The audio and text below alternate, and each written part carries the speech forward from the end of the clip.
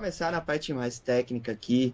Salata, o que, como você define a mixagem? O que é a etapa da mixagem? É um momento que você primeiro constrói a música e depois você trabalha nesse outro momento? Ou você faz o tempo todo a mixagem enquanto você produz? Como você define a mixagem? Como você recomenda? Cara, ao longo dos anos eu, eu entendi. Eu sabia que era mixagem desde muito tempo, né? Que, porra, é aquela etapa final que você vai fazer os elementos da sua música ganharem vida, né? E vai acertar volumes, vai acertar grupos de frequências, né? O grave tem que tocar o grave, o tempo médio vai ter médio, essas coisas.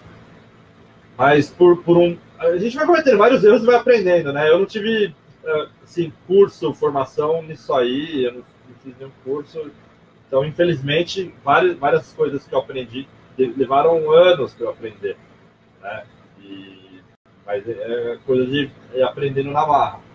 É, então, hoje, eu já tenho uns anos, na verdade, eu vejo que o processo de mixagem é um processo que ele está intrinsecamente ligado com o começo da produção musical. Né? É desde a hora que você começa a timbrar, você precisa começar a, a, a pensar já em como seu timbre vai soar. Isso envolve, obviamente, diversos aspectos relacionados a mix. Então, é, encaixar os elementos.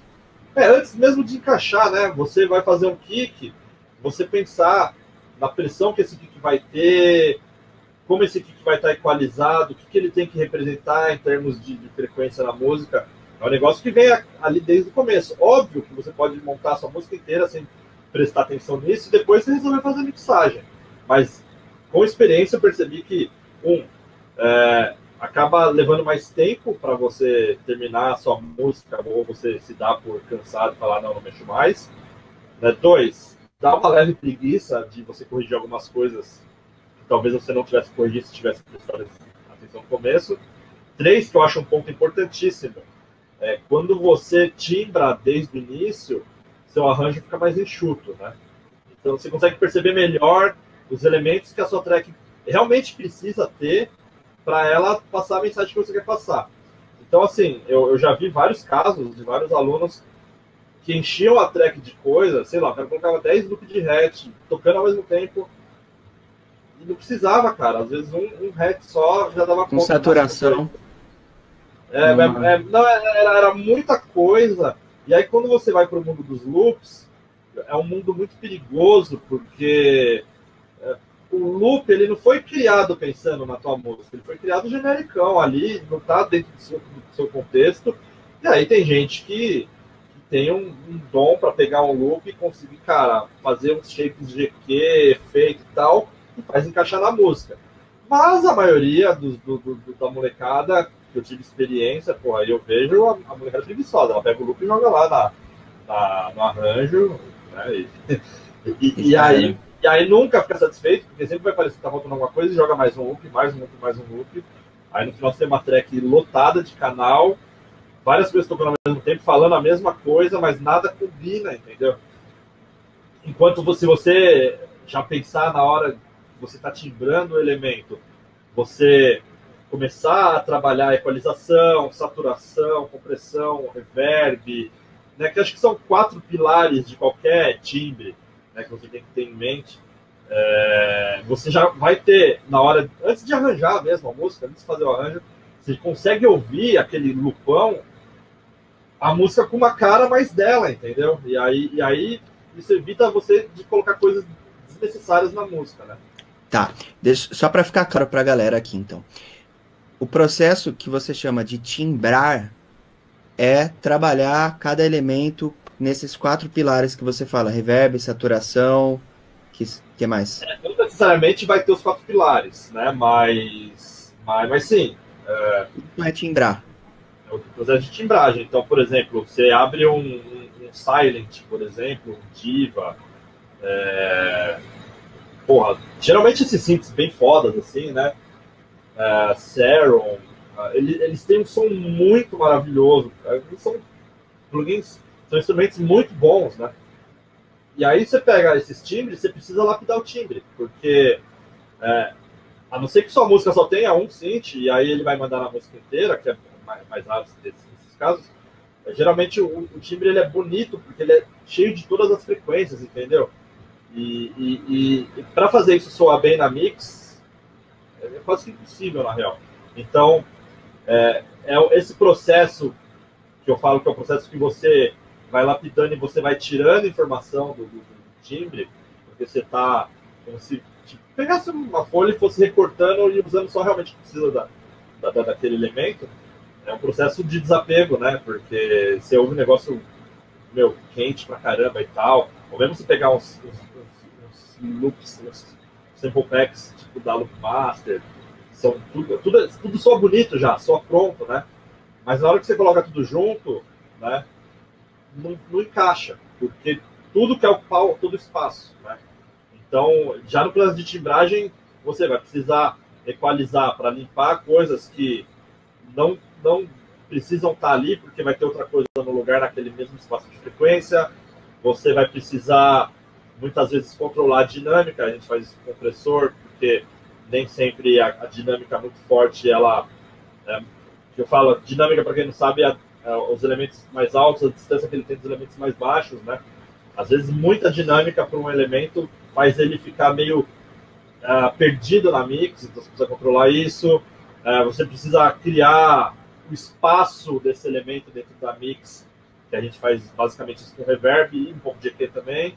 Né? E, e, e a saturação é um recurso, cara, um bom saturador, obviamente, essencial se você faz uma música que você não quer que pareça digital, né? Porque um bom saturador ele consegue arredondar as pontas dos elementos, né? E aquele elemento ele acaba perdendo um pouco desse som digital.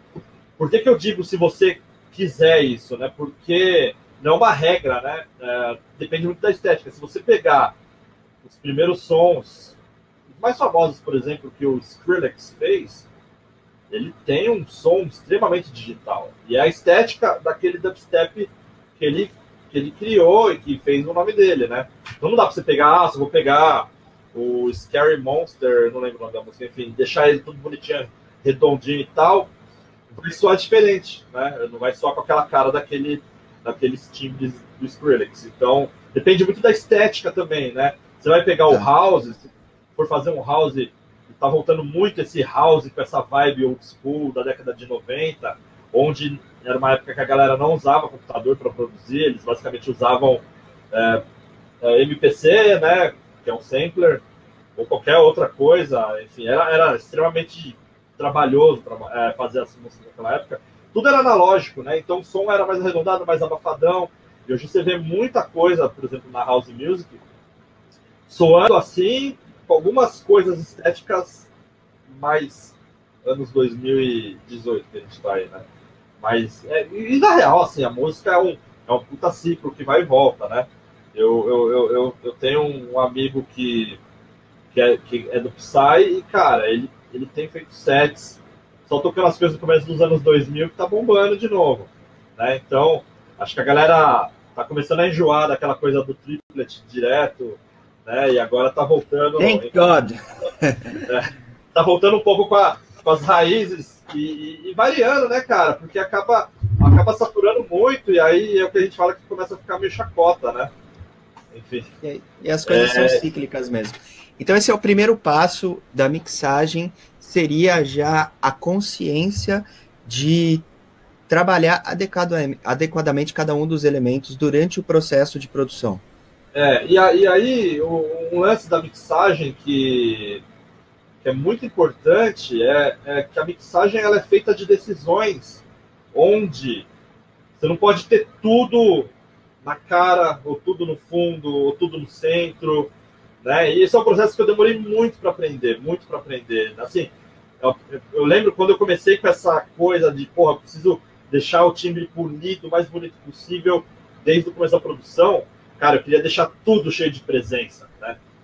Aí, na hora de, de ouvir os elementos todos tocando ao mesmo tempo, que seria o processo final da mix, para você nivelar os volumes, a música nunca ficava boa, cara, porque tudo estava no mesmo lugar. E por mais que você mexesse no volume, como eu tinha exagerado e, feito tudo parecer que estava com som quente, quando você começa a fazer isso com os plugins, você começa a descobrir os plugins bons, é, é, é, é viciante, né? Então você quer fazer tudo soar quente, tudo soar, cara, com, com aqueles médio agudo forte pra caralho, enfim.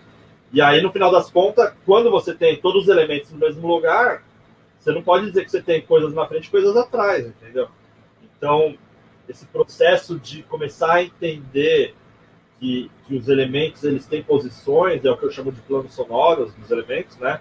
Não só posição de direita e esquerda, que a gente basicamente faz com o fã, mas posição mesmo de tipo, você fechar o olho, você imaginar que um elemento da música está muito perto de você, outro está mais no fundo para o lado direito, outro está mais no fundo para o lado esquerdo.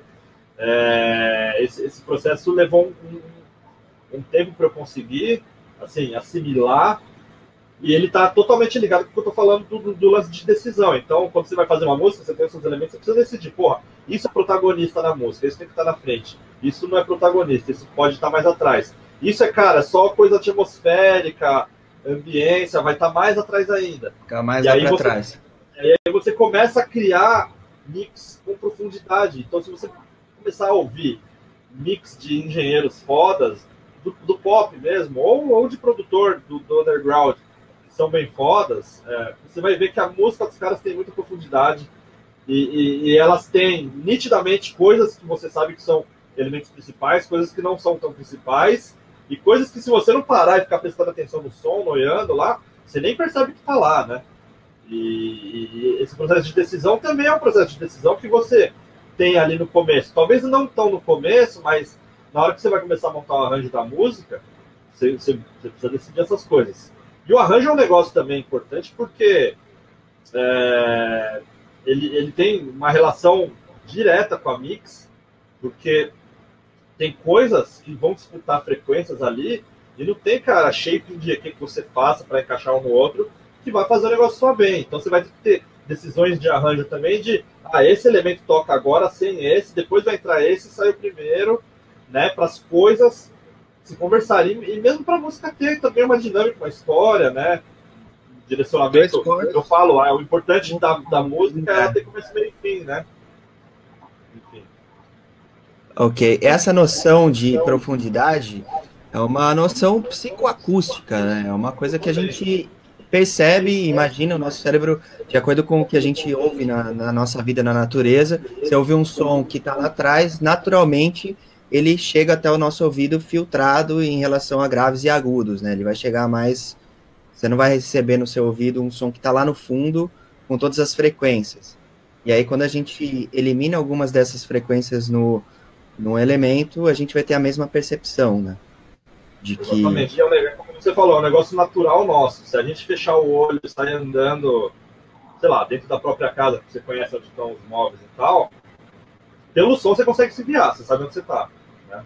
Talvez você não perceba de cara, mas, cara, a, a distância do som do, do, do, seu piso, do seu, da sua pisada no chão, até chegar no seu ouvido, se estiver perto de uma parede ou não, isso reflete o som de alguma forma nosso cérebro ele está totalmente acostumado com, com esse tipo de, de informação, né?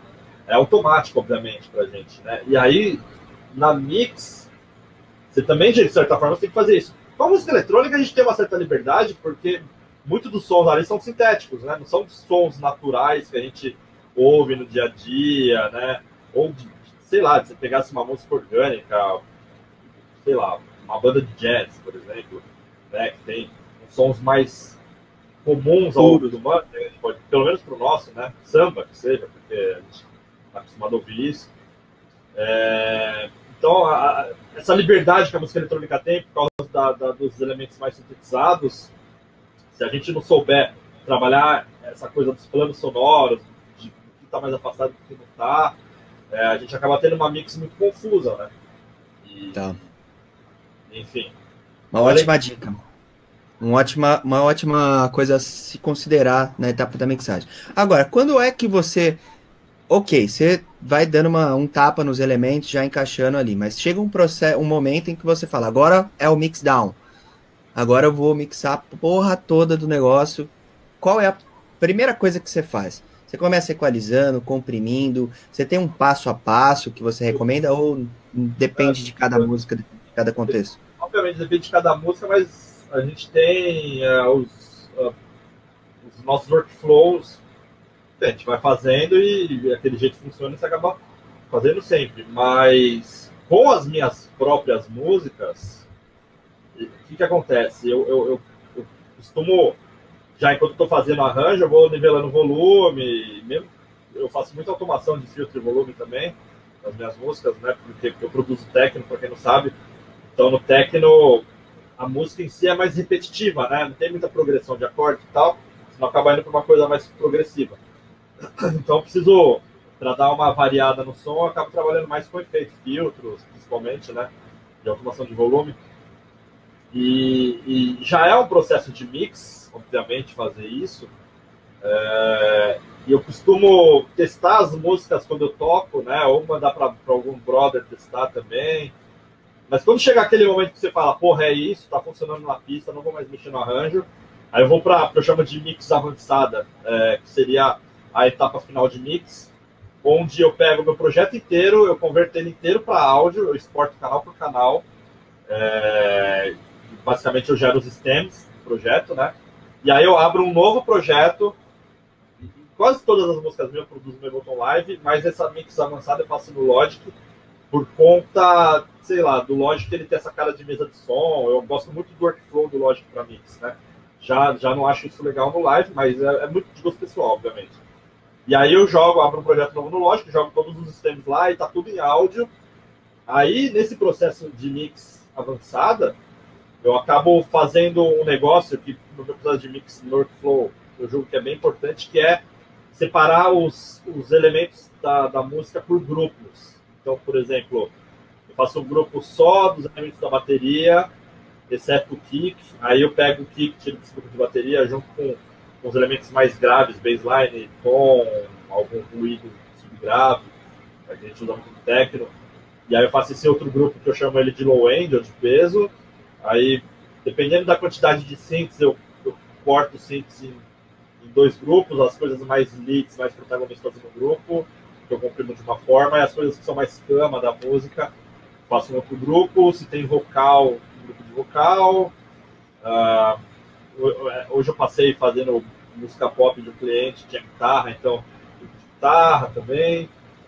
Uh, mas por que, que é importante esse processo de você agrupar os elementos? Porque primeiro porque ah, você, você trabalha algumas coisas em, em relação a, a EQ e compressão é, de maneira diferente, dependendo do tipo de elemento que você está trabalhando. Né? Então, elementos percussivos de bateria, você vai trabalhar muito diferente uma, uma compressão neles do que você trabalhar num grupo de pads. Né? Então, nesse processo de mix avançada, na real, é muito difícil eu mexer no canal específico. Eu trabalho muito nos subgrupos, né? Então, ah, assim, é no claro. canal, o que eu faço muito no canal é nivelamento de volume só. E aí, eventualmente, se tiver alguma coisa que eu ainda acho que preciso fazer, questão de EQ ou compressão, eu acabo fazendo, mas é mais raro, porque eu já, já foquei muito em fazer isso enquanto estava ali no que eu chamo de timbragem do elemento, né? E, e no arranjo você vai, obviamente, você está fazendo arranjo, você vai ouvindo o elemento interagindo com os outros, então não, é que, tipo, eu pego, sei lá, eu pego mais snare equalizo, comprimo, faço tudo bonitinho nunca mais mexo nela. Quando tu fazendo arranjo, conforme o arranjo vai correndo, você fala, putz, mas eu acho que, sei lá, cortei muito grave da snare, aí você volta, você abre, é um negócio bem dinâmico. E aí, nesse processo, nesse segundo processo que seria a mix avançada, a, a, a, os elementos eles já estão meio que decididos, é daquele jeito mesmo, né? Então eu estou muito mais preocupado com a soma do, dos elementos como um todo é, e, e, e, como esses grupos eles vão deixar os elementos dentro do próprio grupo mais coeso, né? Então, algumas técnicas que eu faço no grupo de bateria, uso muita compressão paralela, algumas técnicas de equalização mid-side, é, no grupo de, de low-end, costumo usar compressão em série, que é dois compressores ou mais na sequência. É, e aí a ideia, como eu falei, é fazer os elementos terem uma certa coesão, já que por exemplo, no low end, eu sei que os elementos ali, eles, eles são responsáveis pela música ter peso, entendeu? Então, apesar de você ter elementos separados, eles têm que parecer que falam a mesma língua, né? É, aí eu, eu, estou muito mais preocupado nisso, nesse processo final. E no processo do canal master também, que eu acabo fazendo alguns processamentos. Apesar de ter um mito aí que você não pode processar nada no canal master, É. Enfim. Tá, então vamos por partes. Você separa os elementos, só para ficar fácil para todo mundo acompanhar aqui, que eu não sei qual é exatamente o nível da galera. Separa por grupos, e esse grupo, esses grupos são por mais ou menos similaridade, né? Características espectrais e dinâmicas, é, tanto é, porque a dinâmica de um snare é diferente de um pad. Então Totalmente. você não consegue aplicar o mesmo compressor para os dois. Ficaria uma coisa completamente é, surreal, né? Então a gente divide grupão lá de kick, baixo e subgraves depois um grupo só de bateria, que é, são elementos esse, com... Esse lance de dividido, só, só te cortando, desculpa, o, o, o, esse grupo de, de grave, subgrave, funciona muito bem para quando você tem o kick batendo sempre no beat da música, né? Você vai ter isso em quase todos os estilos, né? Trance, Psytrance, Prog, House, Deep House, Techno, Tech House, quase tudo Future House, qualquer house. É, você vai ter sempre o kick batendo ali junto. E aí eu acho que funciona. Alguns estilos específicos, por exemplo, na mix de drum bass eu não faço essa divisão, na mix de dubstep eu não faço essa divisão, na mix do trap eu não faço essa divisão. Aí eu deixo o kick junto com o grupo da bateria, né? Porque o kick não está tão linear. E um outro aspecto também é que nesses estilos que eu mencionei, trap, dubstep, drum bass, uh, o, o, o subgrave da música ele é muito mais comandado pelas linhas de baixo é, do que pelo próprio kick. Né? Ao contrário, sei lá, do tech house, do techno, que na grande maioria das vezes o, o kick ele é o, é o senhor do subgrave e o baseline também tem subgrave, mas o kick sempre vai ter um subgrave mais destacado do que o do baseline. Né? Então, uh, o low end nesses outros estilos mais quebrados, entre aspas, ele acaba ficando sem o kick e kick volta lá para o grupo de bateria, né? Como, teoricamente ele é. Tá, legal. E quais são os principais elementos da mixagem, você diria? A gente tem equalização, tem compressão, saturação, reverb. É... Quais são os principais pilares da mixagem que você consegue enxergar? São esses quatro, né? É... Equalização porque você precisa é, fazer um shape do. É igual cortar o cabelo, né? Se o cabelo meio bagunçado, aí você você tem um corte lá, você vai cortando os pedaços do seu cabelo para ele ficar com aquela cara daquele corte que encaixa com a tua cabeça, com a tua cara, enfim. É, e, e, é tão subjetivo quanto cortar o cabelo também. Né? Como não existe regra nenhuma, né? Não, não tem regra, cara. Regras existem para ser quebradas. Existem boas práticas que não são regras, né? Mas às vezes com a experiência você vai perceber que vale a pena fazer aquela boa prática porque é o que vai soar melhor, num, sei lá, numa pista de clube, por exemplo, se você faz uma música para pista. É, mas não, tem regra, é, números mágicos, assim, eu, eu, gosto muito dessa ideia. Né? E, e, e o EQ é uma ferramenta extremamente importante porque você acaba lapidando, às vezes você tem um time que tem muita frequência, que são frequências que às vezes nem são tão necessárias assim para o time, quando ele está com os outros elementos tocando junto com ele. E aí você precisa dessa lapidada. E muitas vezes você precisa dar uns boosts também, algumas frequências, aumentar algumas frequências para fazer essas frequências aparecerem mais, também que vai ajudar em, em algum aspecto. Né? Uh, e é, é um erro, inclusive, porque você vê muita gente quando vai fazer equalização, só aumenta, aumenta, aumenta o volume nunca tira coisa, né? E, e os equalizadores dá para tirar também. Mas aí, uma... E aí, assim, compressão basicamente vai, vai controlar a dinâmica, né? Então, às vezes, você tem um elemento que tem alguns picos que, que atrapalham na mix, isso é muito comum, principalmente coisa percussiva, né? Às vezes você tem, cara, hatch, cara, com puta pico de transiente, que vai acabar atrapalhando sua mix, e ele nem precisava ter esse pico, então você vai acabar usando alguma coisa para controlar essa dinâmica, um envelope shaper, ou compressor, ou os Transient dois. Designer. Transient Designer, né? Que, que é um, um, um, um, um compressorzinho, né? É, mais ou menos, né? Ou às vezes no próprio, sei lá, no Ableton Live, se você vai fazer sua bateria usando o Simpler, você tem alguns controles lá para amenizar ataque, por exemplo. Nem precisaria fazer esse, usar o Transient Shaper ou o Transient Designer. Uh, o reverb ele, ele vai ajudar muito a situar seu elemento onde você quer que ele pareça, vai criar profundidade, se precisa de profundidade. E a saturação, como eu falei, ela arredonda muitos picos e às vezes a, a, a saturação, se você saturar muito, obviamente, ele vai distorcer, né? Mas às vezes é bom, depende da estética, né? E, e, ela, ela também deixa o som de certa forma uniforme, que é uma coisa que o compressor faz, né? E, e um quinto elemento, talvez seja um elemento mais importante, é o fader de volume. É, a mix em si começa dali, né? Você acertar é o gain stage. É, que é o, seria, seria parte desse, gain stage aí, é, o, é a parte final dele. O ajuste relativo de ganhos, né? E quando eu comecei a produzir, eu não sei se foi porque eu aprendi vendo alguns caras assim produzir. Eu, eu lembro que eles abriam um canal, abriam um VST e já colocavam um compressor antes de tirar qualquer timbre. E, e assim eu fiz por muito tempo, anos. Eu colocava compressor em cada canal que eu abria, que eu achava que tinha que ter compressor, sem me dar conta sobre o porquê daquilo, né? Porquê do compressor. Então eu imagino que essa seja uma dúvida da galera. Quando eu sei que eu preciso usar um compressor na track? Quando é que é necessário o meu canal é, ter um compressor? Como é que eu sei isso? Cara, é, primeiro você precisa entender como o compressor funciona, né? Ele é, ele é um, um recurso que serve basicamente para você pegar as coisas que estão mais altas no seu elemento e dar uma segurada nessas coisas. E aí, consequentemente, você tem vários compressores que eles dão um ganho automático para recompensar o que você está tirando de volume, né? Aí parece que o som fica mais alto. Fica, de fato.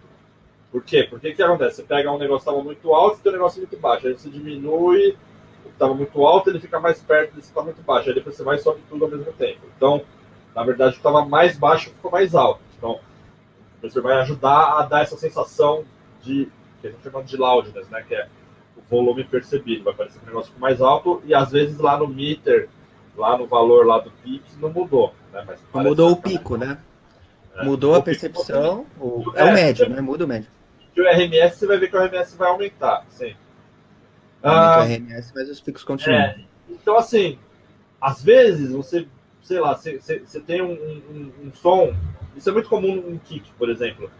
O kick, ele, ele, ele tem uma, um impacto legal, um som de kick forte, ele tem um subgrave interessante, mas esse subgrave ele, ele não parece tão travadinho, tão encaixado, parece que ele, que ele dá uma trepidada às vezes, ou, ou tem uma, uma parece que a, que a frequência dele dura demais, essa sobra de grave, né? E, e, muitas vezes, às vezes ouvindo sozinho parece excelente, mas quando você ouve com o resto da música, essa sobra adicional ela acaba tirando um pouco do groove do som e do impacto do som mesmo, né? Então o compressor, por exemplo, ele faz o quê? Ele consegue deixar esse som do compressor mais redondinho. Então essa sobra ele, ele acaba conseguindo encaixar melhor com o resto do som, o que que ele acaba numa mix, por exemplo, ele aparece mais, ele vem mais para frente, né? Só um pouquinho de compressão. Um outro mais tight, né? Os, os gringos chamam de tight. Né? Tight, exato. Um outro uso para o compressor é quando você tem pico, né? Você tem, cara, você tem alguma frequência que dá uns picos assim do nada, né? Então, acontece muito com quem usa bateria bateria analógica, é, drum machine. Sei lá, tem aquela da Electron famosa, Analog Reader, tem uns timbres maravilhosos, mas ela é analógica, ela tem algumas instabilidades, então você desenha lá o, o, pattern da sua, da sua snare, por exemplo, para ficar batendo, às vezes uma outra snare vai, vai dar um pico a mais, que, cara, você quer deixar isso uniforme. Então, com o compressor você consegue setar o compressor para ele só agir se o volume passar de um determinado ponto, seria esse pico, e aí ele trava bem, né? Dá para a gente fazer isso com o limiter. O limiter também é um compressor, né? Só que é um compressor. Da, é isso que eu ia perguntar. Nesse caso, qual a diferença de usar um limiter e um compressor nesse caso, para esse objetivo. Limiter, sim. Se você quiser ser prático, nesse caso você tá com o limiter, porque o limiter, cara, é um compressor estúpido que não deixa nada passar de um determinado volume, né? Que vai, ele vai fazer uma conta matemática lá e, e vai passar, mas vai passar menos. Ele trava, né? não passa nada. E, e, super rápido também. Né? Então, às vezes, às vezes, principalmente quando o elemento não é muito protagonista na música, eu, eu resolvo por limiter. É, porque tá. é mais prático, entendeu? Agora, se o elemento é mais importante na música, o limiter às vezes pode ser muito agressivo, né? Então vale mais a pena você pegar o compressor, que você tem mais parâmetros para controlar como ele vai envelopar esse volume, né? É, e aí você consegue fazer um trabalho um pouco mais. dá mais trabalho, obviamente, mas pelo elemento ser protagonista, vale a pena o trabalho, né? Tá, dicas, dicas boas, hein? E aí, a gente tem alguém perguntando do make-up. Make-up, galera, é o seguinte, é o que ele falou. A gente tem um som aqui, aí você comprime, ele puxa para cá. Aí depois esse make-up é o que vai puxar todo mundo para cima junto, para ficar no mesmo no mesmo volumão que estava anteriormente, porém agora com uma percepção maior, porque você tem o, o que estava lá embaixo está lá em cima junto. Mas em, entretanto os picos continuam no mesmo no mesmo dB, né? É, e, e, o make-up é um negócio legal porque tem plugin que tem make-up automático, tem plugin que não tem. Tem plugin que não chama de make-up, tem plugin que chama de auto gain, a mesma coisa. Tem plugin que só chama de gain. Uh, o do live, por exemplo, o make-up automático dele eu acho horrível. Ele sempre, não sei que conta que ele faz ali, que sempre fica um volume muito mais alto do que deveria. Então, no do live, por exemplo, eu prefiro deixar desligado e regular o output na mão.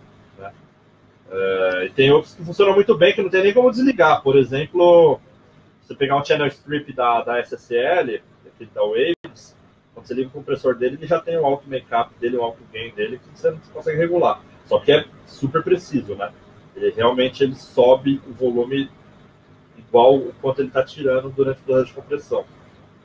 Legal. Vamos, aproveitando que a gente está falando de compressores, então, é, eu quero fazer duas perguntas. A primeira é clássica, tem um monte de mito, um monte de história sobre isso, e gente que defende um ponto e outro, que é compressor antes do EQ ou depois do EQ? E depois, é, quais são os melhores compressores que você, os tipos de circuito que tem nos compressores, quais ah. funcionam para cada coisa, marca que você gosta? Cara, é, não tem regra que vem primeiro compressor ou EQ, depende você precisa saber o que cada um vai fazer, o que o EQ faz, o que o compressor faz. Aí você vai ouvir o seu timbre e você vai sacar se ele precisa de compressor, se ele precisa de EQ e o que, que vai precisar primeiro. Então, se eu pego um, um vocal, por exemplo, é um exemplo ótimo.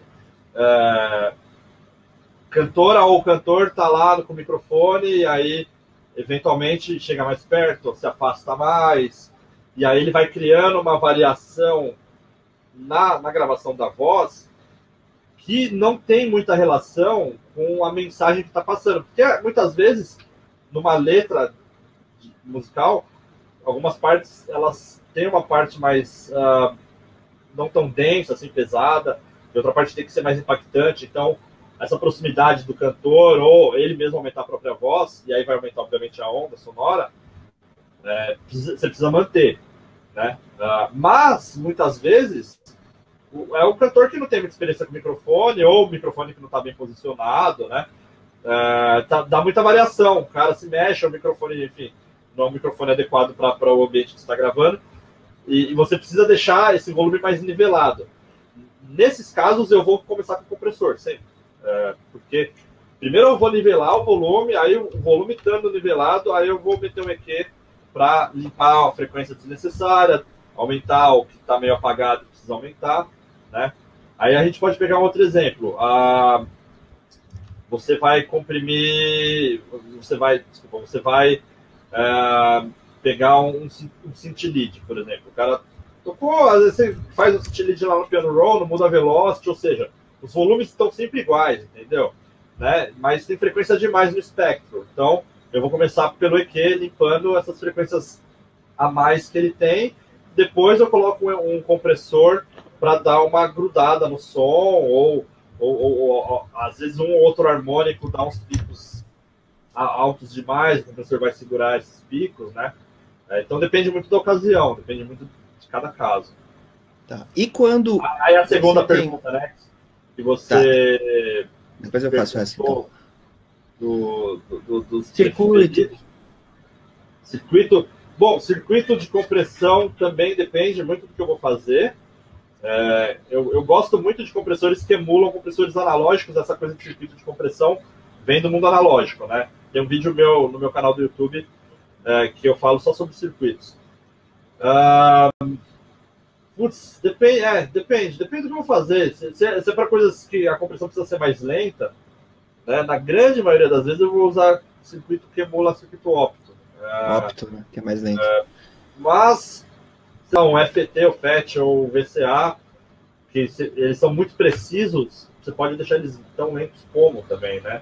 É que o óptimo costuma ser um pouco mais musical, então, por exemplo, um compressor final no vocal, só para dar aquela, aquela encaixada final, todos os efeitos que você usou no vocal, se usar um opto ali, acaba sendo de certa forma mais musical, porque ele é mais Ele é mais sutil, né? É, é. E aí você tem vários, né? Tem os, os o, o opto mais clássico da história é um, é um chamado LA2A, que existe hardware, e tem, cara, uma porrada de emulações de plugins, né? Eu basicamente uso muito o AD, é, sou usuário da Universal Audio já faz sete anos e pouquinho. Uh, então acabei nesse tempo todo comprando muita coisa dos caras. Mas é, hoje, se a gente parar para pensar e analisar o que o mercado oferece, é um custo muito alto, né? Então, por exemplo, eu sempre aconselho para quem quer começar hoje, quer começar com coisa boa, ir para os plugins da Slate Digital. Você não compra, você paga uma mensalidade, e hoje está 15 dólares por mês. Dá 180 dólares por ano, a gente está falando aí de, sei lá, convertendo para real. Mil reais, vai, com IOF. É, é, vai dar, chega a dar 800 reais o dólar do jeito que tá. É, cara, é mais barato que um plugin só de várias marcas, entendeu? É, são muito bons, são muito bons. Muito na, e na Slate você paga isso e, e, acessa vários plugins, é isso? Todos. É, você tem Caramba, muito barato. É barato, eu acho barato. Eu, eu, pago barato. 15 euros por mês do Serum, 15 dólares, sei lá. Não, só o Serum, né? 10, 10 euros por mês do Silent. Só Não, esses dois, tá... 25 dólares já. 25 euros. É, o da, o, a, a Slate ela tem hoje uma gama de compressores equalizadores que emulam esses analógicos famosos. Ano passado eles criaram um reverb bem bom também, que emula acho que o reverb da, da Eventide, se não me engano, uma marca clássica também, de hardware. Tem um delay legal, tem emulação de fita, e, e quando você paga essa mensalidade, se os caras criarem um novo plugin, você tem direito a usar também. É, os 15 dólares, na verdade, só para não ter confusão, é se você assinar o plano anual. Então você paga 15 dólares por mês, mas compromete a pagar durante 12 meses, né? Se você quiser pagar sabe, eu quero usar só esse mês, aí custa 25 dólares. Né? Barato, o único barato. ponto negativo é que você precisa ter o iLock físico. O iLock é. Vou mostrar aqui para vocês. É como se fosse um pendrive. É isso aqui, ó. Esse é o modelo, é o iLock 2, já está no iLock 3, que ele é menorzinho, todo prata. Mas é igual um pendrive, né? E na verdade as licenças dos plugins ficam aqui dentro. Tem alguns plugins que usam o sistema do iLock, você não precisa ter o iLock físico. Você só precisa instalar no seu computador. Mas a Slate Digital, ela te obriga a ter o iLock físico. E na verdade, quando você assina uh, esse plano anual, eles te mandam o iLock de graça. Então você ganha o iLock. O problema. Manda, manda para o Brasil, tranquilo. Manda, mas para em Curitiba. Não, é, aí, aí, aí já não é problema dos caras, é problema nosso, né? Que vai ficar travado lá. Você acha uns iLocks para vender no Mercado Livre, mas o iLock custa 35 dólares, acho, nos Estados Unidos, numa loja qualquer. No Mercado Livre você vê a galera vendendo por 250 reais, é meio roubo, assim, sei lá. Uh, mas você pode, obviamente, você vai se assinar Slate, espera chegar o iLock, né? Espera um mês, não sei. Uh, Todo mundo que eu conheço que está usando Slate já tinha iLock antes. Eu trouxe de fora, acabou comprando no Mercado Livre, né? Uh, não conheci ninguém que comprou e pediu para Slate mandar para o Brasil, mas eles mandam. Então você Legal. demora para chegar. Né? E aí, só para ficar claro também, você falou da UAD. O AD também é parecido com esse esquema. Você precisa ter um hardware deles, né? Que é o a Apollo. É, é né? não, a UAD, a UAD é a plataforma, é o, é o nome do hardware, na verdade, né? que ela é da Universal Audio. Então, a UAD é, um, é uma plataforma de plugins. É um plugin normal que você vai abrir no seu computador, igual você abre qualquer plugin. Só que ele não usa o processamento do seu computador, ele, usa, ele não usa a CPU do seu computador, ele usa esse hardware que precisa ter. Então você tem a, as próprias OADs, né? Tem versão USB para o que é para Windows, tem versão Thunderbolt que é para Mac, tem versão Firewire, eles ainda vendem, tem versão PCI para se espetar a placa no computador, que as primeiras eram assim. E, e eles têm a. É, é, só é uma caixa é, e ela, ela. Você não pluga nada, você pluga um cabo atrás dela só e o cabo de energia, só. Não é uma interface de áudio. E aí, de uns anos para cá, acho que em 2012, eles começaram a fazer interface de áudio que é a Apollo. Que é bem, e agora tem uma segunda que chama Arrow também, que é mais baratinha.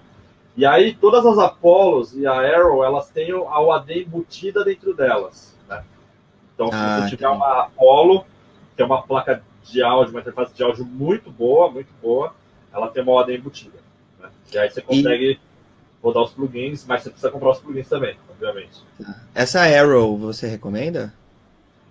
Dependendo do que você vai fazer, eu recomendo. Ela é uma placa mais limitada, porque acho que ela, ela tem os dois outputs que você vai precisar para esquerda e direita e eu acho que ela tem um ou dois inputs no máximo, né? Então, por exemplo, muita, muita gente não grava nada, né? Usa tudo por é. instrumento virtual, aí não vai fazer diferença. Então, vale ter a Arrow porque ela tem a OAD embutida e, e porque ela, ela, ela é uma interface de áudio com conversores de qualidade. Então, faz uma interface de áudio uma ser melhor que a outra, né? Eu, eu não lembro só, é porque a, UAD, como eu falei, ela é como se fosse um computadorzinho para rodar os plugins dentro dela. Então existem algumas é, configurações, alguns modelos, né? Você tem o AD solo, que é um processador só, você tem a Duo, tem o Quad dois, agora. A Quad, que são quatro, você tem a Octo, que são oito processadores, né? Eu não lembro, deixa eu olhar aqui, a Arrow, eu vou abrir o site aqui dos caras. É, quais versões ela tem, se é que tem versões diferentes, né? Uh,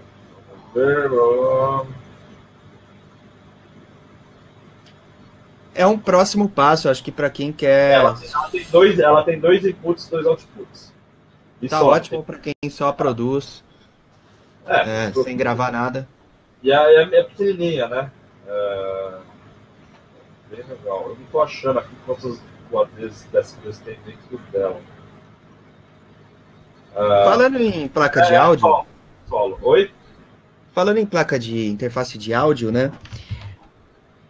A gente tem, por exemplo, eu abro o meu Logic lá, eu não gravo nada por fora, eu só vou utilizar é, os plugins e tudo digital. Qual é o papel de uma interface de áudio nesse processo no meu som? Ele vai interferir na qualidade do som, no, ou ele só vai segurar o processamento para amenizar um pouco para o meu computador? Qual que é o real papel de uma interface de áudio para quem não grava instrumentos? É o, o, o, que você vai ouvir, na verdade, né? É, porque independente da interface de áudio, você pode usar o que tem no seu computador on-board, né? Ou você pode usar uma M-Audio, uma Scarlett, uma Behringer, ou você pode usar as pica, tipo Magic Halo, Prism e essas coisas. É, quando você faz uma bounce lá no Logic, ou você vai no Ableton exporta o áudio, né? Você exporta a música pronta. Independente da sua placa, o som é igual, não muda. Por quê? Porque esse processo de bounce, de renderização da música, é um processo matemático, que são contas matemáticas que o seu computador que vai fazer, enfim. Então não muda nada. Então, você pode fazer um teste, pegar uma placa foda, fazer a bounce e aí desplugar ela e fazer a bounce com a placa onboard do seu computador, o áudio é o mesmo. Só que o que, que uma interface boa difere de uma interface ruim? Você vai fazer sua música, vai mixar sua música e algumas vezes vai masterizar sua música, você precisa, como eu falei aqui desde o começo, tomar decisões e basicamente a sua decisão depende do que você está ouvindo, né? Então, é, o que você vai ouvir você vai ouvir com mais nitidez e mais clareza nas interfaces que têm uma melhor conversão. Então, o papel da interface de áudio basicamente é, é, é te traduzir, traduzir para o seu ouvido o que você está fazendo com o seu mouse no seu computador, entendeu? Ele, e aí tem muita diferença, cara. Principalmente quando. É, é, é, é, não é só isso, né? É isso que é, que é complicado. Mas são vários fatores, né? Depende da energia elétrica da onde você mora, depende do cabo que você usa para ligar a sua interface até o seu monitor de áudio, depende do seu monitor de áudio, que aí depende da acústica da tua casa, que depende do cansaço do teu ouvido, depende do seu estado de espírito também, porque às vezes você está de mau humor, puta, mix não vai ficar legal, na maioria das vezes. Depende do grau de, de, de maturidade do seu ouvido. Fazer uma, uma analogia, por exemplo, o ouvido, é, a, a, a, gente tem o sentido humano da audição, depende do ouvido, e, e, e, o ouvido ele vai ouvir sempre bem, desde a época que a gente nasce, conforme você for tomando cuidados, você vai continuar ouvindo bem. Só que o seu cérebro, ele não sabe interpretar as informações direito. Então, você, é, é só você ver uma criança, né? A criança, quando está aprendendo a andar, né, ela, o cérebro dela que vai mandar na coordenação motora dela. Óbvio que nesse exemplo você tem outros aspectos, o corpo humano que está se formando, mas pegando outro exemplo, o paladar, por exemplo. Uh, muitas vezes você vai comer uma comida hoje mais requintada, mais gourmet, e às vezes seu paladar não está maduro para aquilo e você não consegue perceber diferença disso, né? Porque você. Toma uma cerveja IPA, não gosta. É, é, e Precisa... pode ser um exemplo de cerveja, vinho, comida em si, né? Mas, cara, com o passar dos anos, seu, seu paladar ele vai conhecendo mais coisas e aí você vai aprimorando o, a, como o seu cérebro identifica. A sua língua não mudou, né? A mesma língua, todo o sistema do paladar, enfim? É, mas o seu cérebro ele começa a reconhecer melhor isso. Com o ouvido é a mesma coisa. Então, às vezes, para quem está começando, o cara não vai ouvir diferença de uma interface foda para uma interface mais barata, com um benefício mais acessível. Né? É, eu, eu, lembro quando saiu o Apollo, um amigo meu, é, que era meu sócio do estúdio, que eu comentei, que a gente, depois a gente desmontou o estúdio, cada um foi pro seu lado. Eu lembro que saiu o Apollo, eu, eu tinha ido viajar para os Estados Unidos e pediu para trazer uma para ele. Né? Só que ele não tinha montado o novo estúdio dele ainda. E aí eu lembro que eu usava uma interface da TC Electronic nessa época, são interfaces bem razoáveis. E aí ele falou: Ah, fica usando a minha Apollo aí, né? Eu falei: Ah, beleza, né? Óbvio, né? vou usar. E aí, cara, eu lembro que o cara despluguei a TC, pluguei a Apollo, assim, tentando ouvir a diferença e não sentia. Assim, eu, eu não tinha certeza se eu estava sentindo a diferença, isso era coisa da minha cabeça, entendeu? E, e beleza, fiquei lá, demorou seis meses para ele pedir Apollo, para ele usar mesmo. Aí chegou o dia que ele pediu. Falou, cara, terminei aqui o estúdio, vou buscar Apollo aí que eu vou usar de fato. E aí, quando eu botei a TC de volta, que é uma placa inferior à Apollo, aí eu senti a diferença. E, e cara, foi uma diferença razoável, assim, em questão de, de os timbres não serem tão metálicos, o estéreo parecia mais definido, e, e, e, cara, basicamente porque eu fiquei seis meses ouvindo aquilo, meu ouvido aprendeu a ouvir bem aquilo, e quando você dá o downgrade, você vai para um negócio um pouco inferior, você percebe a diferença na hora, né? Mas é, é, é, o que eu, é o que eu falei, seu ouvido vai ganhando uma certa maturidade. O processo de mix é muito disso aí também, né? É, é são muitos detalhinhos, pequenas nuances que às vezes se mexe, que você precisa ter um ouvido mais maduro para perceber, você precisa ter um equipamento que você consiga perceber isso, né? E aí a interface de áudio está completamente relacionada com isso. Ou seja, o que eu produzo dentro do Ableton, dentro do Logic, é a mesma coisa, sem interface, com interface, com o AD ou sem, com o Apollo não, ou sem Apollo. Não, o AD já é outra história. não, eu falei errado. Porque, porque, aí tem o lance dos plugins, né? Aí... É. Então vai ser a mesma coisa. O que vai diferenciar vai ser o que eu vou ouvir que vai é. influenciar a minha tomada de decisões na é, minha mensagem. Se você tá alguma coisa também, como você está gravando, vai gravar voz, vai gravar guitarra, violão, synth, é, tem uma ligação completamente direta com isso, né? Sim, daí ah, ele vai cometer o Tem gente que defende que o conversor não faz tanta diferença assim. Eu percebo uma diferença razoável, né? Tem, a gente está a gente tá falando de um range de, da Apollo Quad, por exemplo, que custa hoje mais de 10 mil reais aqui no Brasil, né? É, mais ou menos. É, uns mil dólares, que aqui você vai pagar 10 mil. Não, é mais mil é, dólares. É mais, né? Sei lá. Aqui é uns 10 mil reais, eu tava olhando. E aí a gente tem a Scarlett é, de 800 reais, que é a Focusrite, que seria uma. uma é, 212, lá 2 e 2. É, para quem está começando, é claro que ninguém tem 10 mil reais para dar uma interface de áudio, né? É pouca gente que está nesse nível. Essa Scarlett, por exemplo, ou uma M Audio, o que, que você recomenda para quem está começando, montando um estúdio? Cara, a Scarlett é uma boa opção. M Audio, teoricamente, é uma boa opção também. Eu tenho um certo resquício para M Audio, já tive muito equipamento M Audio, interface de áudio, é, controlador MIDI, é, teclado mesmo, e, e eu, eu, percebi que a M Audio, não sei como está hoje, porque eu parei realmente de comprar M Audio. É, eles, eles não eram empresa, não era uma empresa que se preocupava muito com a atualização de, de, de software, por exemplo. Então, saiu uma versão nova do macOS semana passada, retrasada. Ou, sei lá, vai sair o Windows 11, né? A M-Audio pega um produto mais antigo, os caras estão nem aí pro produto. Se instala o seu Windows 11, o seu macOS 10.14, seu M-Audio para de funcionar.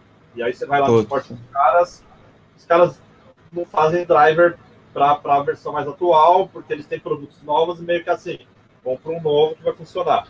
E aí eu, eu, eu, foi um dos motivos que eu comecei a, a não gostar da M-Audio, né, entre aspas. Né? Eles têm coisas boas, né?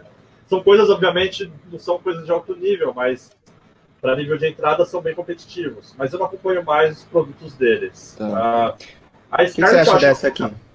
Então, eu ia falar dela daqui a pouco. A Scarlett eu acho uma placa de entrada bem interessante que a Focusrite fez para com, com a Behringer, entre outras pequenas marcas, né? Porque antes a, a entrada da, da, da, da, da Foxrite era a Safiri, né? Que é essa que você está segurando. É, e a Safiri já é um valor mais caro, né? Ela compete com TC Electronic, com alguns modelos da Motu. Uh, e, e, aí eles, eles queriam, eles queriam, enfim, entrar nesse Tô mercado. vendendo, hein, galera? Ah, ó, ó. Tô vendendo, tá novinha. A Safiri é bem legal, é bem legal. Eu tinha uma Safiri, cara, você deve lembrar também. Era, era, eu não lembro o modelo dela, mas ela era uma torrinha branca. Puta, eu não lembro. Era uma torrinha branca e uma, uma torre. Tinha uma versão que era torre preta também. E todo mundo que fazia live usava essa safira, porque ela tinha oito outputs. ah, eu lembro. Acho que eu lembro dessa. Você falou do live agora. E de repente, depois de anos usando, ela simplesmente parou de funcionar. Você plugava ela, ela era Firewire, ela piscava as luzes e, e não funcionava e as luzes ficavam piscando e a, e a falava que não tinha que fazer. Aí, Legal. aí você começa a bodear da marca também, é foda, né? você quer subir sempre, né? Deixa eu dar uma olhada no chat aqui. O pessoal tá perguntando de multibanda. É, ah. compressão multibanda. Quando é que a gente usa compressão multibanda? Ou por que, que eu prefiro compressor multibanda do que um EQ quando eu quero, sei lá, eu tô com muitas frequências agudas ali, eu tá com multibanda, por que não um EQ? Pois é, por, por, por preguiça, talvez. é, cara, é, eu, eu, eu não uso quase nunca multibanda na Mix, é, porque o multibanda, na grande maioria das vezes, ele vai funcionar bem, na grande maioria das vezes, não é uma regra, tá? É, para grupos de som. Então, por exemplo, sei lá, você coloca num grupo de bateria, aí você vai melhorar um pouco a dinâmica desse grupo de bateria. Mas no processo de mix, na teoria, você tem todos os canais ali para você trabalhar individualmente o canal, entendeu? Então, eu acho mais válido você ir e trabalhar nesse canal que está com algum problema na dinâmica do que você tacar um multibanda lá e, e, comprimir uma parte do seu áudio, né? Que você poderia resolver é, ali direto no, no, no, no, canal, no elemento que está com problema. No caso da masterização, eu faço muita master para outras pessoas, né? As minhas próprias masters eu nem gosto de fazer, eu acho sempre bom ter um ouvido, uh, um segundo ouvido para ter uma segunda opinião sonora da sua música. Aí, no caso da master, eu uso muito multibanda para quando a mix tem algum desequilíbrio que eu acho que vai afetar na, na cadeia de plugins de processamento que eu vou fazer. Então, multibanda é meio que o primeiro ou o segundo plugin que eu uso para controlar esse equilíbrio que está meio transtornado, assim. Então, eu uso bastante.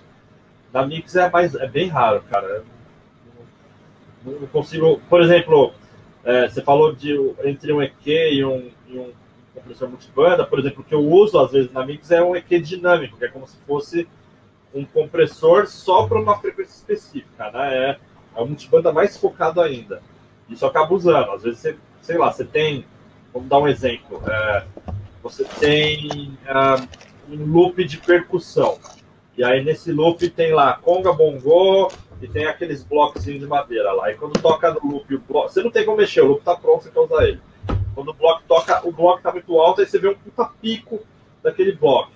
Se você coloca um EQ convencional e faz um cava um buraco naquele pico do bloco, ele resolve o problema do bloco, mas quando o bloco não está tocando, ele acaba baixando o volume daquela é frequência para sempre, né? Então, o que está precisando daquela frequência, ele acaba tirando também. Um equalizador dinâmico, ou até um multiband, você poderia fazer isso, você consegue baixar esse pico do bloco só quando ele ocorrer. Né? Por isso que chama dinâmico. Então, se o volume não passa de um determinado threshold, ele não aplica nada de equalização ali. Se ele passa, ele aplica essa equalização que é como se fosse uma comprimida, né? Uma compressão. Ah, é, basicamente, ele funciona como um compressor multibanda, né? Um pouquinho mais detalhado, assim. É, que ele é um pouco mais cirúrgico, mais preciso, né? É, é mais preciso. Cara, tem um novo, um Sonox, que acho que foi lançado ano passado, chamado Dynamic Kill. É fenomenal, cara. Muito bom, muito bom, muito limpo. É uma ferramenta assim muito foda. Então, quem quiser procurar um equalizador dinâmico muito bom, Dynamic Kill da Sonox é bom. Tem o F6 da, da Waves, que é ok também, né? Mas esse da Sonox é absurdo, assim, bom. Falando em Waves, o que, que você acha de plugins da. Eu vi o pessoal perguntando aqui no chat. Da Native Instruments, da Waves. Waves emula um monte de coisa. Seria... E todo mundo tem, né? O que você acha? compressor da Waves, a gente tem quatro, tem vários, tem o C4, C, C3, tem um monte. Muito, muito, muito. Tem, tem, esses tradicionais que não emulam nada específico, tem vários que emulam os específicos. Cara, plugins da Waves em geral, eu acho que eles estão ultrapassados. A grande realidade é essa. A Waves é muito pioneira nisso, né? É uma empresa que, porra, ela começou toda essa onda aí de emulação e tal, cara, no começo dos anos 2000, a gente tá falando de quase 20 anos. E, e, e os plugins da Waves, eles soavam bem há, há 15 anos atrás, porque o computador de 15 anos atrás ele tinha limitações físicas de processamento que hoje os computadores não têm tanto, né? Então o que acontece? Uh, os plugins recentes da Waves eu acho que soam muito bem. Por exemplo, tem um compressor que eles lançaram esse ano ou ano passado, que é o DBX 160. É muito bom, cara. Mas é um plugin novo. Então, ele já foi desenhado pensando na capacidade de processamento do computador de hoje em dia, né? Você vai pegar o C4, o C1, porra, velho, é, é um bagulho muito, muito antigo. E, e, e, e, me dá a impressão que ele soa digital, né? Ele, ele não, não tem o poder de um plugin mais qualidade que parece que dá um, um negocinho ali, um sabor do analógico, né? Coisa que a Native Instruments consegue fazer, né? porque são plugins bem mais recentes. Então, eu gosto bastante dos plugins de processamento de áudio da Native, como eu gosto muito dos Slate que eu falei, eu acho que os plugins das empresas que fazem parte da Plugin Alliance também são muito bons. Para mim, são um dos melhores que tem, né? Que é a Brainworks, SPL, Vertigo, Mag. São várias empresas na verdade, acho que é tudo a Brainworks que faz. É... Eles são mais recentes, então, assim, são plugins muito mais pesados, né? É... Para o processamento do computador. Mas o computador, como eu falei, de hoje em dia é muito mais rápido do que o computador de 15 anos atrás. Então, a Waves ela não atualizou essas coisas antigas que ela tem, né? Ela vai criando coisas novas. Então, na, na, na teoria, as coisas mais recentes da Waves são melhores, né? Tá. Da Native, o que, que você gosta? Ah, cara, todos que emulam coisa analógica ali eu gostei, cara. Não teve nenhum que eu não gostei, não. É, tem alguns compressores, né? VC2A que emula LA2A, VC76 que emula o 1176, o VC160 que emula o DBX. Ah, tem um Varicomp que emula o Variable da Manley. Ah, não é igual o Variable da Manley, mas, cara, é, tem um som legal. Tem o, o ele tem um Buscomp lá que é o SSL também, eu não lembro o nome, acho que é Buscomp. Né? Solid Comp, alguma coisa assim. É, é só abrir aqui. É, tem os EQs que são bem legais também. E, cara, eu gosto muito dos dois reverbs que tem no pacote da Native, que é o RC24 e o RC48, são bem fodas, cara. Uma qualidade excepcional, assim. Um equalizador, por exemplo, EQ8 do Ableton, o equalizador do Logic, o que, que, você acha desses equalizadores? Compressor do Logic, compressor do Ableton? Ah. Ah, os equalizadores do Logic eu acho muito bom, eu uso pra caralho. Uh, e o do Live, desde o Live 9, porra, foi lançado em 2013, então já tem 5 anos, eles redesenharam o EQ8 inteiro, do zero, também é muito bom, é, com, com, algumas limitações uh, que eu posso pontuar aqui, que são poucas, né? Por exemplo, no EQ8 você só pode fazer os low cuts, os high cuts em 12 dB por oitava ou 48 dB por oitava. Não tem nem menos que isso, nem o meio termo, né? Mas, assim, a, a, princípio, esses equalizadores, tanto do Logic quanto do Ableton, eles são equalizadores que eles são super cleans. Então, eu acho que é o equalizador ideal para você fazer limpezas no timbre. Ele não vai trazer harmônico a mais para a música, que nem os que emulam analógico fazem.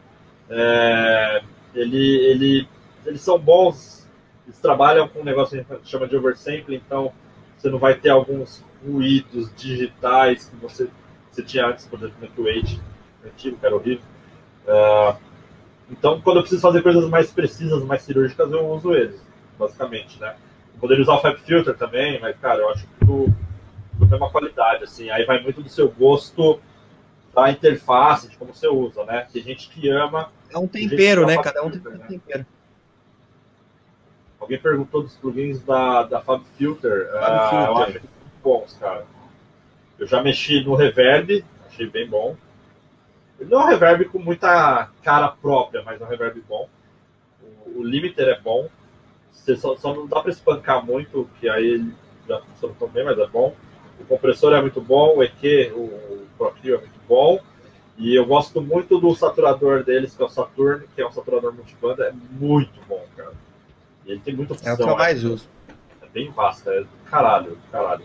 Aí perguntaram aqui do, do FL, putz, eu mexo com FL há 15 anos, então então passa. Valhalla. É Valhalla é, Valhalla é do caralho. É. Mas é, é assim, o Valhalla é. Os reverbs, todos eles, acho que são cinco, né? Eles têm muita característica própria, né? Então, se você quer ter um reverb mais comportadinho e tal, talvez o Valhalla seja muito, seja demais, né? Ele é muito, né? O vintage, qualquer um que você colocar, você colocou num, num hi-hat, ele vira um. É, tem, o, que chama Shimmer, que é um absurdo, né, cara? é muito louco. Esse, Esse é muito bom. Eu não tenho mais. Preciso, preciso comprar. Valhalla. E quais outros saturadores que você gosta de usar? Plugins de saturação? Cara, tem o Valhalla? Uh, acho que um dos melhores que tem é o da Sound Toys. Decapitator. Decapitator. Ele é incrível, cara. Incrível. Ele é muito bom.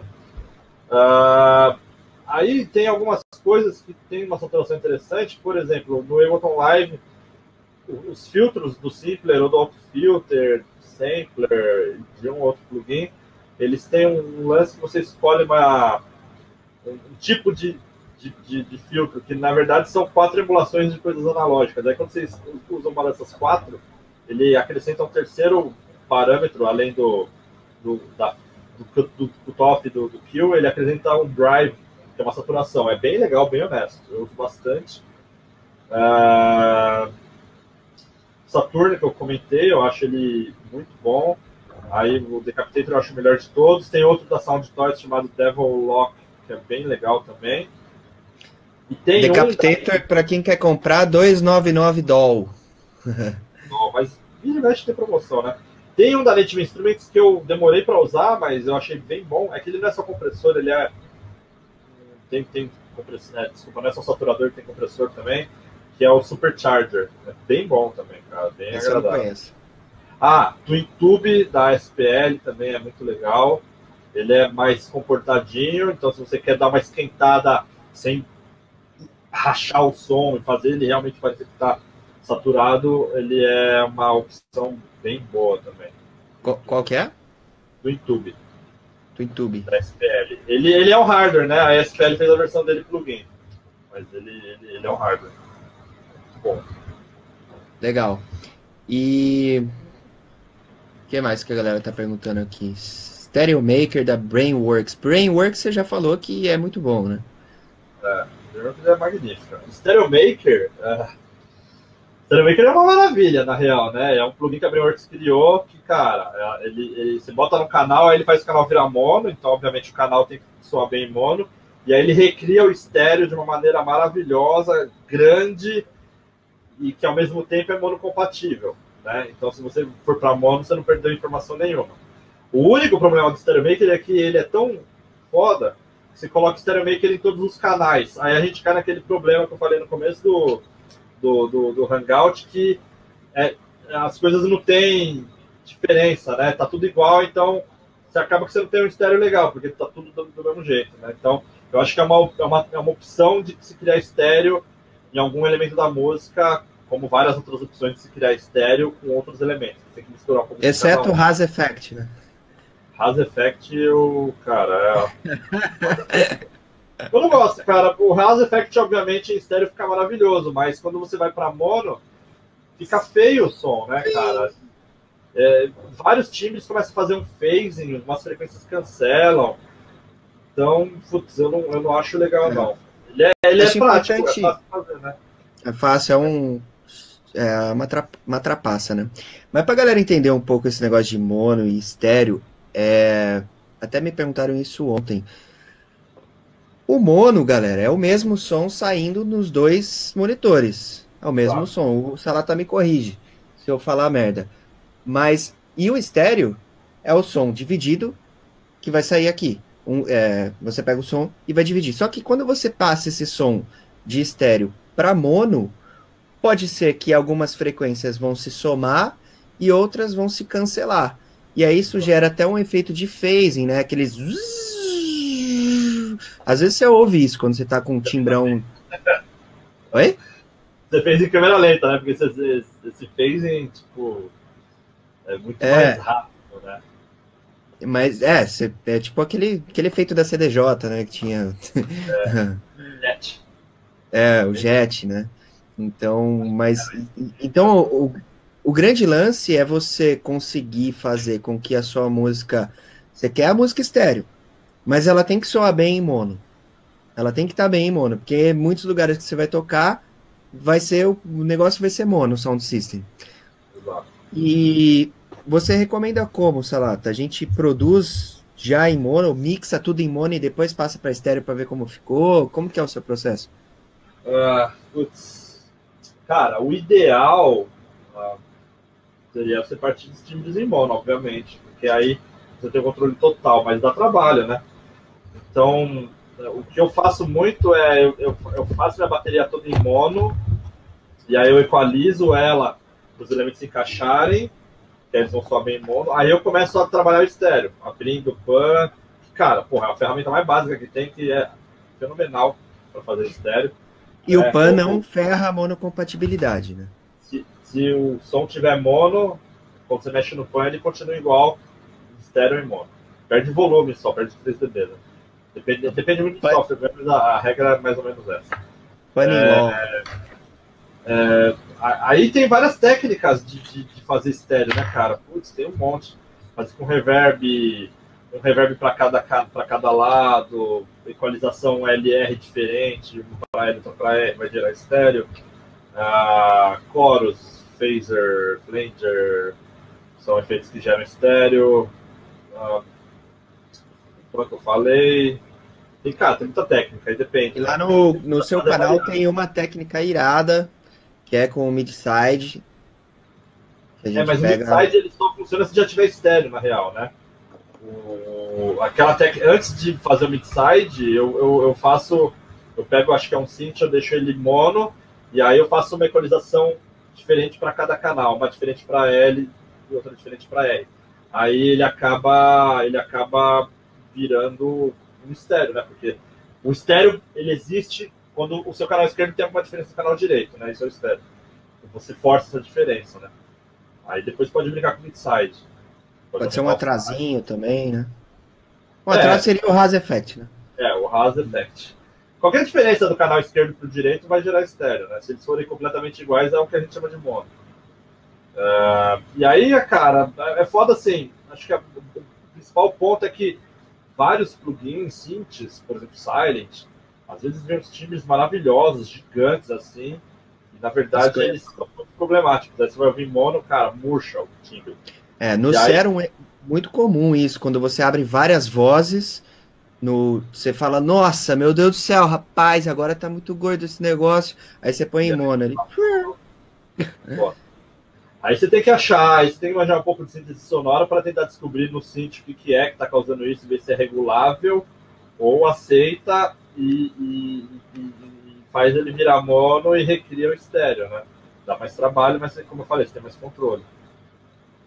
É, dicas avançadas, hein? Essas é, dicas. É, Não é... Você fala disso no seu curso? Muito. É o que eu mais falo, é de estéreo, plano sonoro. É... Falo muito, cara. É muito importante isso numa boa mix, né? É. Eu confesso que eu comprei o seu curso, mas eu não comecei ainda, porque eu tô terminando outras atividades. Eu tô ligado, mas... tá fazendo um, um, lance bem legal aí que eu vi de, de mentoria, né, cara? Eu acho isso é. genial. É. Muita gente precisa do cara do lado ali para falar a realidade, né? Eu acho bem legal isso aí. Eu tô nessa, nessa loucura e tem, tem alguns lá que são seus alunos também. Bom, gente, 10 e meia, duas horas que nós estamos paparicando. Tá. Obrigadão, cara, pelo convite. Eu achei que foi, cara, legal pra caralho. Galera que tá até agora aí no, no, no chat aí, acompanhando o vídeo, obrigado também. Espero que vocês tenham curtido, cara. Eu falei bastante coisa aí, hein? E aí, para ver isso na prática, tem lá no curso, obviamente, né? Tem tudo que eu falei, tem lá. É, na prática, com exemplos e tal. É, e, cara, parabéns aí pelo tempo que você tem feito, que é do caralho. Só vejo a galera elogiando, muito legal mesmo. E obrigado mais uma vez aí, porra. Eu que agradeço. Cara, para mim, satisfação total é ter essa oportunidade aqui de estar com um cara que está tá entrando no mercado dos cursos digitais, mas já é um profissional há muito, muito mais tempo que eu. Então, cara, assim, para mim, para mim é uma honra ter alguém desse nível aqui junto comigo e tamo junto. Galera, Valeu. obrigado por terem comparecido. Aqueles que desmarcaram o jantar romântico para comparecer na live, aqueles que, que a namorada tá puta lá na sala esperando. Já acabou, pode ir lá assistir o Netflix agora. e tamo junto, galera. Tá com a esposa também. É... Tá Falei que às 10 eu tava em casa. é, sempre assim. perto de casa. Beleza, galera. Valeu demais. Tamo junto e até a próxima, então.